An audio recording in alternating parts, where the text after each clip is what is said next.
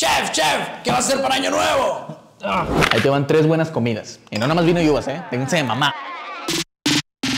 Primero, para la entradita, no importa que sea solo para picar, hay que meterle un buen de sabor y por eso vamos a ir dorando unas rebanadas de tocino hasta que estén bien crujientes y doraditas para así poder cortarlas en trocitos. Como el queso crema va a ir cubierto en su mayoría de esta mezcla, voy a usar mis frutos secos favoritos que son el pistache y la almendra. También le puedes poner nuez, pero yo la verdad le guardo cierto resentimiento, así que ahí mejor la dejamos. En fin, esto lo tienes que tostar muy levemente, que no se te quemen. El queso crema no lo vamos a dejar tan sencillo, pero igual no vamos a abusar de los sabores. Así que solo voy a llevar un poquito de cebollín fresco, algo de eneldo, orégano seco y unas cuantas cucharadas de miel de abeja. Bien integrado todo. Y para conseguir la dichosa forma nos vamos a ayudar de un pedazo de film donde vamos a dejar caer todo el queso crema. Lo vamos a ir envolviendo. Como quiera pónganse unos guantes por si acaso se llegan a manchar. Ya nada más desde con mucho cuidado darle la formita de la bola bien compacta. Y yo como quiera les recomiendo dejarlo un ratito en el para que se mantenga firme antes de empanizarlo. Y ahora sí, que esté bien firme es tan fácil nada más como ponerlo sobre toda la mezcla del tocino y las nueces e irlo empanizando lo mejor que se pueda, bien cubierto y que no se les vaya a deformar. De ahí lo sirven al plato y lo cubren de las galletas saladas. Empezamos con algo bien, ¿eh? Mmm, este con un Cabernet Sauvignon Chile 2001 marido perfecto. Para empezar, vamos a picar el chicharroncito. Bien, lo puedes hacer a mano, tranquilamente. O si tienes una procesadora como todos, pues puedes usarla para no ir a las prisas. Nosotros vamos a usar el chicharrón de la Ramos, pero también puede jalar el chicharrón prensado, el chicharrón de piel para gustos específicos. Aquí no juzgamos. Esto es el oro café, amigos.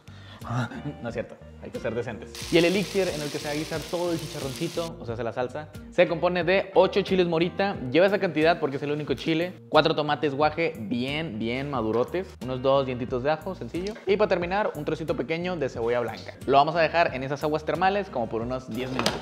Ya que estén así de guaditos de lo bien cocidos que están y de hidratado el chile morita, los vamos a licuar solo con un toque de cilantro fresco su sal y pimienta. Igual vamos a echarle un chorrito de agua, lo suficiente para que quede bien molida, como quiera, si queda muy líquida, no se asusten, que esto va a reducir el Y antes de guisar la salsa, le quiero dar un plus al chicharrón sofriendo tantita cebolla picada en manteca de puerco. Sé que les puede parecer extremo, pero es sumamente necesario. Y ya que la cebolla se vea y huela bien tierna, es momento de aventar el chicharrón para que también agarre su doradito. La idea es que el chicharrón esté burbujeando en su propia grasa, así como esta belleza.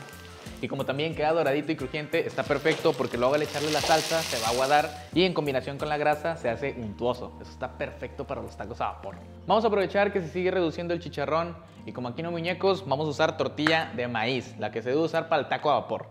Esta debe ir calentada en un aceite de chiles secos para que le dé ese color característico y además el aceite hace que la tortilla agarre más fuerza al estar doradita y no se rompa tan fácil. Esta es la consistencia que debes buscar en el chicharrón, delicioso, untuoso, que no esté caldudo y obviamente bien sazonado.